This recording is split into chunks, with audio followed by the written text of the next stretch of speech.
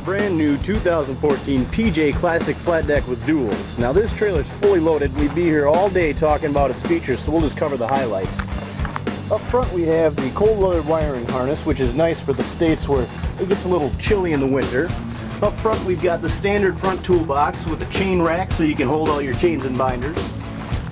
And up top you'll see that it has an additional toolbox for even more.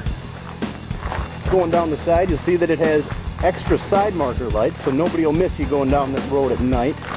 And underneath, you'll notice that it also has a full-length torque tube. This trailer is equipped with two 12,000 pound axles with a 72 inch axle spread. But the real big deal about this trailer is PJ's new Powertail. Now this is patent pending and only PJ Trailers offers this option and it makes loading and unloading a heck of a lot easier.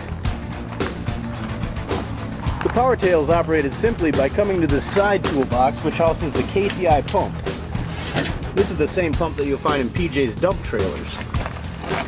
Simply grab the remote and let her rip.